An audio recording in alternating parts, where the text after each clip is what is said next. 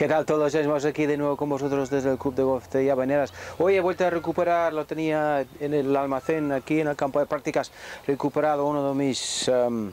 mis aparatos preferidos para, para, entrenar un poco el, el, arranque y como veréis hay dos palos de alineación con una cuerda um, atada entre, entre, entre, ellos y le he puesto más o menos la altura, la, mi altura, la altura preferida es justo por debajo de donde acaba la empuñadura. Entonces el jugador, la idea aquí, ahora explicaré lo que vamos a hacer, pero el jugador se colocaría, se colocaría con, con la varilla del palo apoyada ligeramente en, en, la, cuerda y el objetivo aquí Obviamente, como sabemos, hay, solo hace falta encender la, la tele el fin de semana, ver el, el, los últimos dos días del, del torneo um, de esa semana y ver que hay, hay todo, tipo de, todo tipo de arranque, el jugador profesional muchas veces pues ha empezado muy joven y lleva toda la vida jugando y ha buscado una solución a, a, un arranque, digamos, un poco menos, menos ortodoxa. Pero yo, no sé, mi opinión, um, creo que el arranque es, un, es, es, una fase muy importante del swing porque condiciona por lo menos el, el resto de la subida, por no decir el resto, de, el resto del swing. Y veo muchos alumnos, um, desde literalmente los primeros centímetros del, del swing, pues estropeando un poco Uh, por lo menos alejando, alejando, alejándose demasiado de lo que buscaría, porque después les da demasiado trabajo, más trabajo en la bajada para encajar las piezas. Entonces, paso, ah, no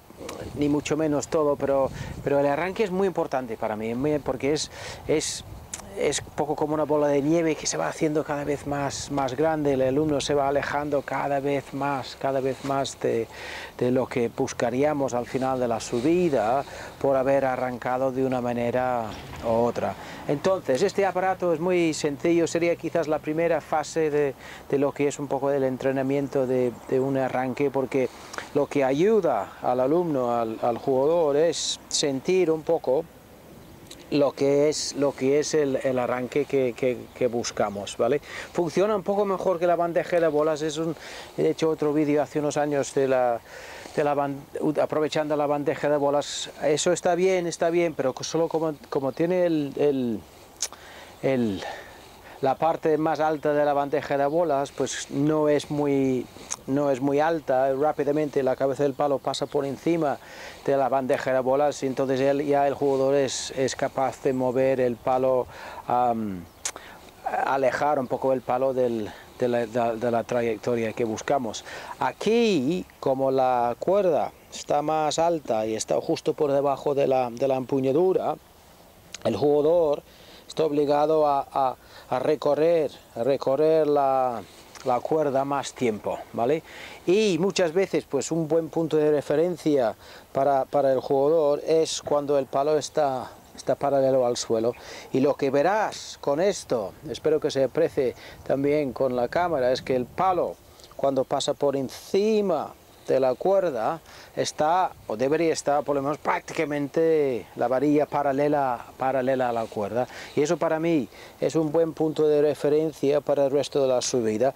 Sub, habiendo podido subir hasta aquí con esta alineación el resto de la subida en principio debería, debería ser un poco más, más sencillo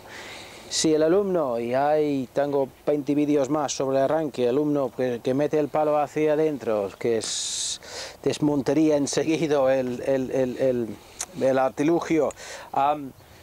eso después tiende a hacer ciertas cosas en el resto de la subida. Si el jugador se separa enseguida de la, de, de la cuerda, pues eso también es otra, otra subida que requiere otras respuestas en la bajada. Um, Obviamente, eso no nos quita tener que encajar piezas en la bajada, pero hay relaciones al final de la subida, alineaciones del cuerpo y el palo al final de la subida que facilitan el trabajo en la bajada. No tienes tanto trabajo que hacer en la bajada si el palo y el cuerpo están bien, alineado, bien alineados al final de la subida. Entonces, muy sencillo, si no encuentras